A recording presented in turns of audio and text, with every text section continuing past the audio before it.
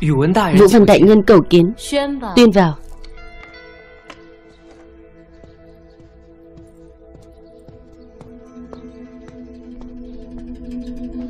Bái kiến Thái Phi. Ái Khanh bình thân đi. Đa tạ Thái Phi. Không biết Vũ Văn Đại Nhân đến là vì chuyện gì? Tình hình bất ổn. Gần đây gặp phải một số chuyện khó nhằn. Nên định đến đây Thỉnh giáo Thái Phi nương nương Chuyện gì?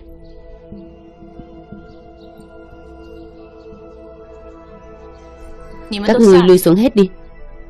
Dạ nương nương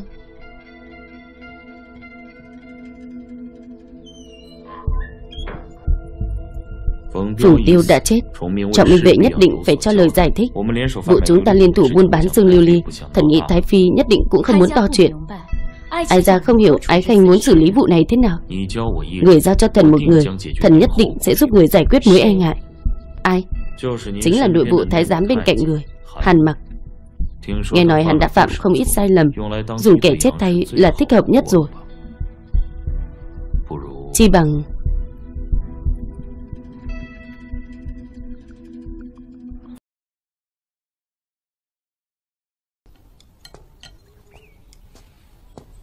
Nào, ăn đi.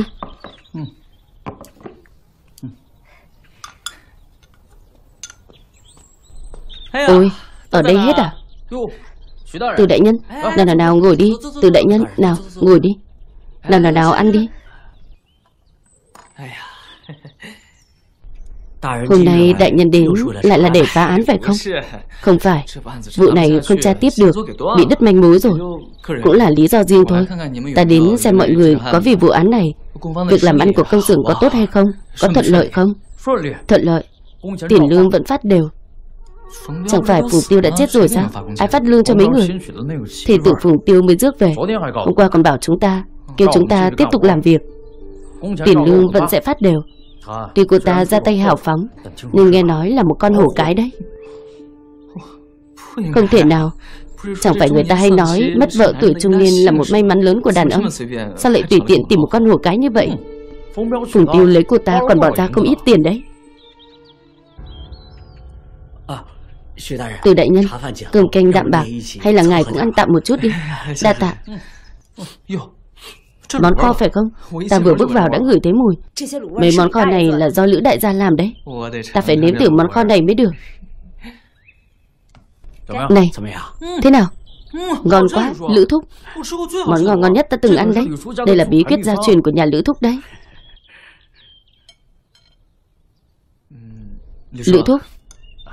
Thực ra hôm nay ta đến Vẫn là có mấy việc riêng Muốn thỉnh giáo qua với Thúc Hay từ đại nhân theo ta qua bên này. Hai người ăn thong thả nhé.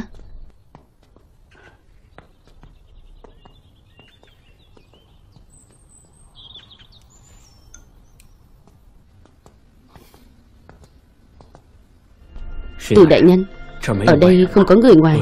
Có gì ngài cứ nói thẳng đi Ta muốn hỏi một chút. Lúc đó bức tượng ở trong tiệm tượng Phật phát sáng Là vì trong đó có chứa thi thể của cư chúng. Dương có phốt pho nên phát sáng Nhưng phủng tiêu không phải cư chúng. Tại sao khi cho vào bức tượng chúng lại phát sáng? Vấn đề này Ngài hỏi ta. Ta là lão già nhà quê Sao ta biết được chứ? Ta nói đùa thôi. Thật ra điều ta thực sự muốn hỏi. Ta không nói ra được Đại nhân cứ nói thẳng đi. Món không nấu ngon quá. Ta có thể mang về một ít được không? Cái này thì dễ thôi. Lam Du Lam Du. Ngài gọi ta sao Lữ sư phụ? Cái đó cô đi lấy một cái hộp Gói cho từ đại nhân vài miếng món kho của chúng ta nhé Được ạ. Ngài thích ăn món này sao? Ngon lắm. Từ đại nhân. Từ đại nhân đây là Ngài đeo dây chuyền sao Không phải Đây là dây chìa khóa nhà thôi Từ đại nhân không cần che giấu。Lão Phu thấy cái dây này rất quen Có thể nó chính là do Lão Phu làm ra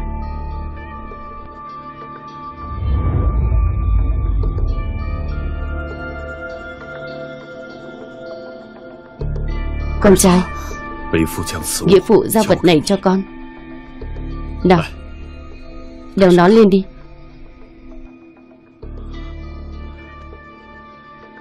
Nhớ kỹ Con phải luôn đeo nó bên mình Không được lấy nó xuống. Tuyệt đối đừng để ai nhìn thấy. Hiểu chưa? Con hiểu rồi ạ.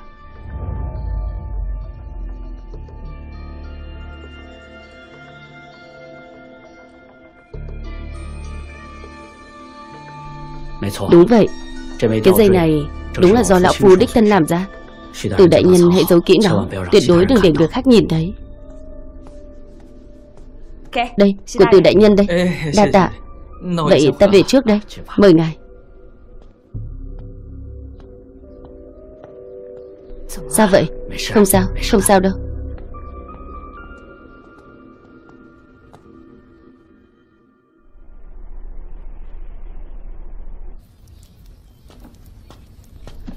Mệt chết đi được. Thứ gì đấy?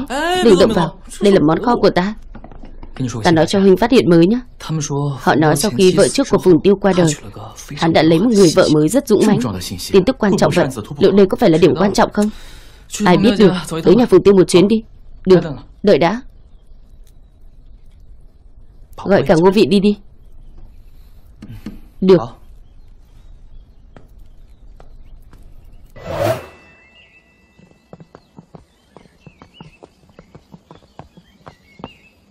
Có người không? Có người ở nhà không? Chúng ta đi xung quanh xem đi.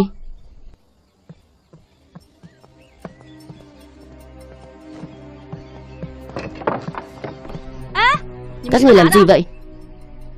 Bọn ta phụ chỉ đến phá án. Các người là ai?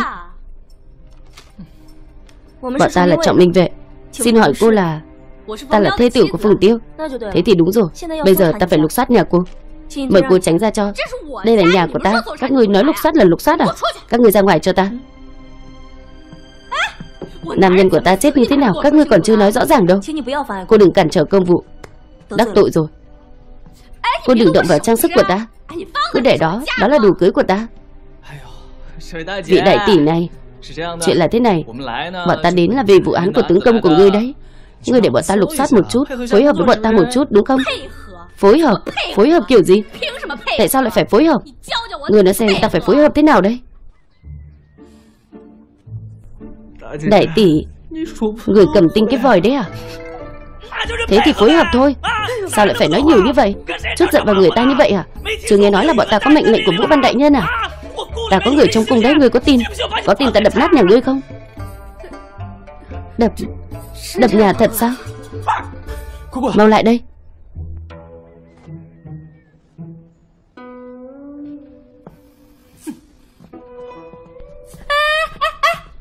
Các người đừng động vào đó.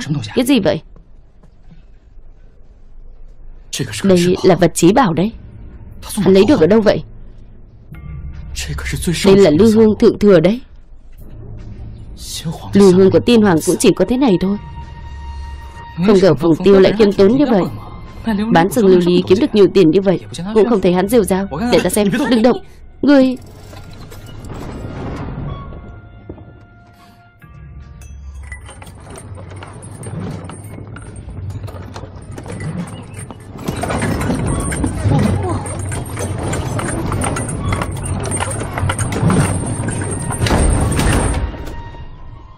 Vào đó xem xem. Đi.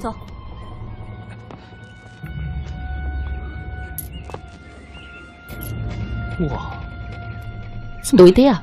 Cô vào đi ta không vào đâu. Đi.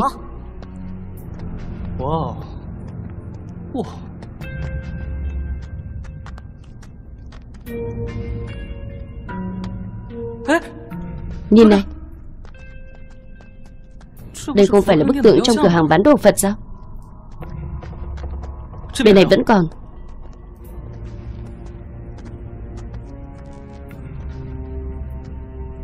Đang cần. Có vết máu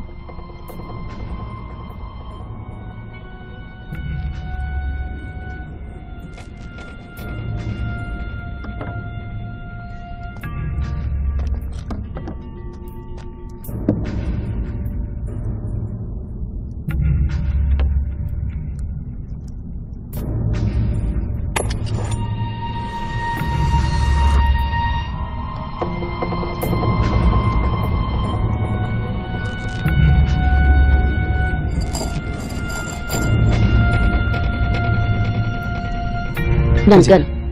Ở đây cũng có vết máu.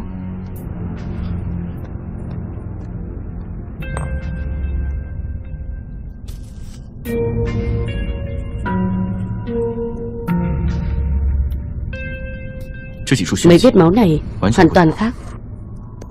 Trên đất là vết máu ít nhất đã nửa năm. Còn ở trên búa là mấy ngày trước thôi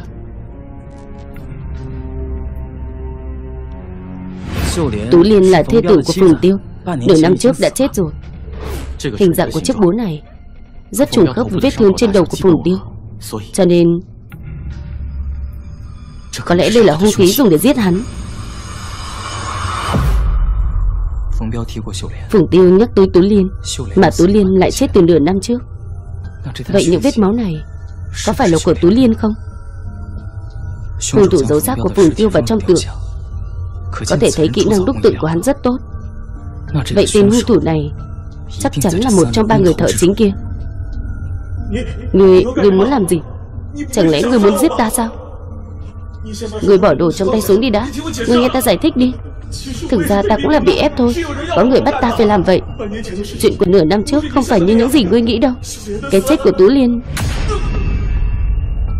Vậy Tú Liên Phùng Tiêu Hung thủ Ba người bọn họ Rốt cuộc đã xảy ra chuyện gì? Chắc chắn trong đây có điểm đáng ngờ.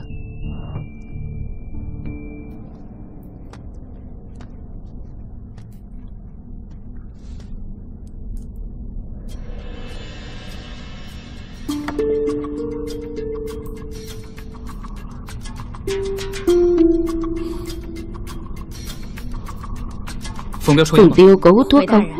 Hồi bẩm đại nhân, kể từ khi gả vào Phùng gia, Phùng Tiêu không hề hút thuốc. Vậy hẳn có người thân nào hút thuốc không? Thưa đại nhân, hai tháng trước ta được gả vào nhà chàng ấy quả thực có mùi thuốc, nhưng chàng ấy không hề hút thuốc.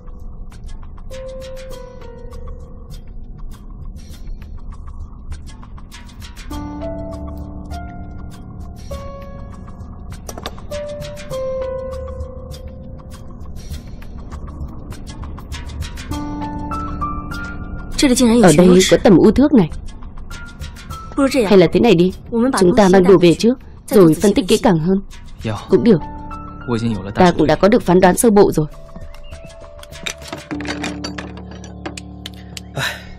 Được rồi. Chúng ta về trọng linh vệ trước nhé Để đoạn ngộ tác kiểm tra mấy thứ này. Được. Ta cũng phải đòi lại trong sạch cho mình nhanh mới được. Yên tâm đi. Cảm ơn nhé Mau đi thôi, về trọng minh vệ Đi. Mấy thứ này Phiền ngươi nhé Hả? Ngô đại ca Ngô Ngô lại.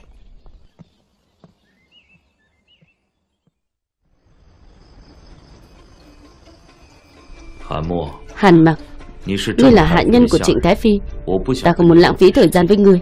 Nếu như ngươi muốn nhanh chóng kết thúc cuộc nói chuyện này Vậy thì hãy thành thật trả lời những câu hỏi của ta Người có làm được không? Được Người ở trong cung Vẫn luôn làm hết chức trách phận sự của mình, phải không? Đúng Nhưng theo như ta biết, Người làm không ít chuyện, Không muốn cho người khác biết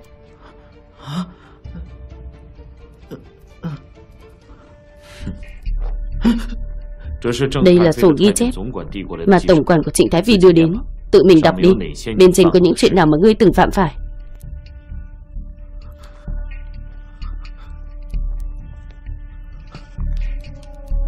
Đọc cho ta nghe xem. Vạn Năm 47 vạn lịch Giờ hợi một khắc ngày 16 tháng 3 Hàn mặc tự ý xuất cung hẹn hò với dân nữ Phạt cấm túc 10 ngày. Tiếp đi.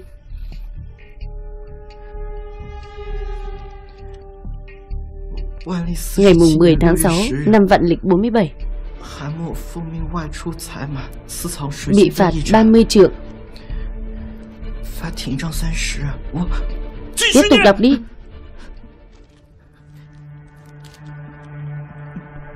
Sao thế? Tại sao lại không đọc nữa? Có phải là phát hiện Cả một trăm phía sau đều là lỗi của ngươi không? Người có biết tổng quản giao sổ ghi chép cho ta? Là muốn ta giết người không? Đại nhân. Tiểu nhân biết tội rồi. Tiểu nhân ngu xuẩn. Tiểu nhân bị ma quỷ ám. Không làm tiểu nhân cho tốt mà cứ muốn làm, Cứ muốn làm một số Người đúng là còn biết điều đấy. Ít nhất có thể chết một cách rõ ràng. Đại nhân, Lần này, cho dù tiểu nhân có vài cái gan, Cũng không dám làm như vậy nữa, Sẽ an phận thủ thường. Đại nhân. Được rồi, Muốn sống thì phải lấy công chuộc tội. Tối nay người phải đến Tịnh Long Điền Trang, Lấy ngân lượng của một chủ hộ về. Nhớ rõ, Không được phạm sai lầm.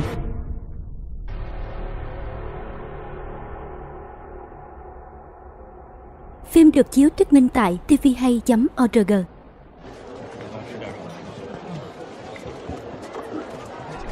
Lão Trương Từ đại nhân ngài đến rồi. Ăn chút gì? Như cũ Được thôi Đợi một chút. Hôm nay nhiều người. Được Ngồi đi ngồi đi.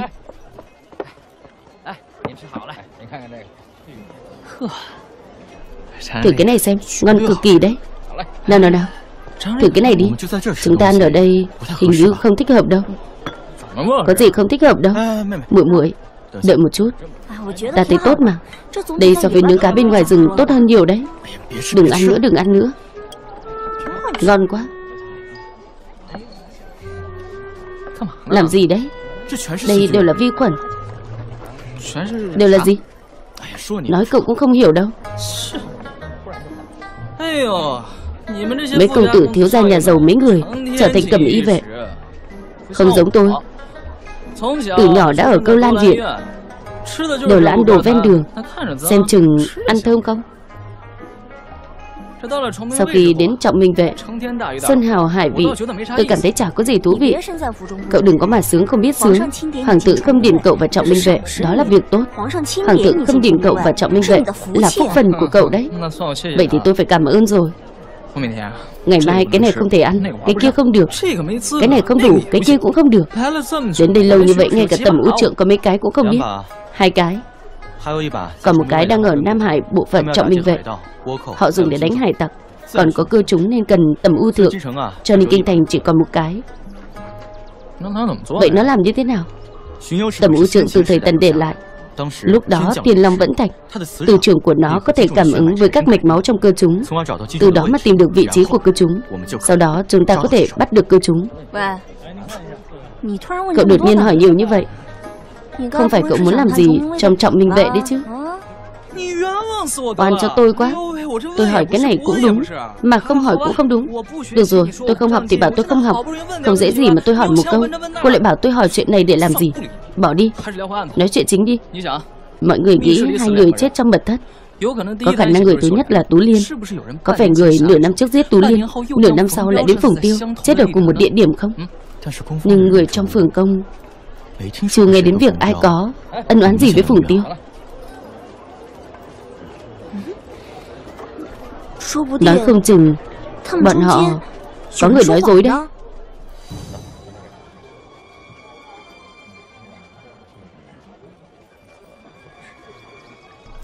Có khả năng.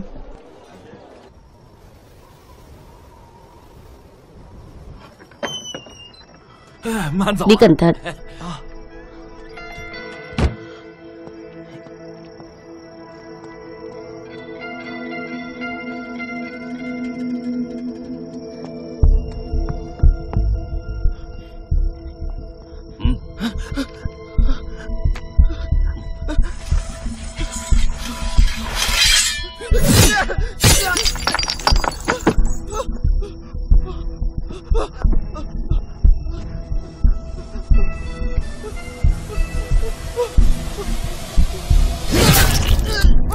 Giết người rồi. Giết người rồi. Giết người rồi. Giết người rồi.